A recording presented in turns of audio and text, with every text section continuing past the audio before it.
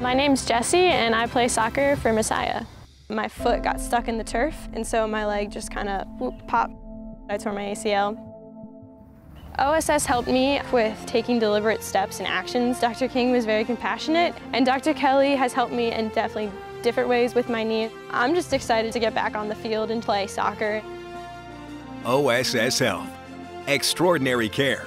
Extraordinary athletes.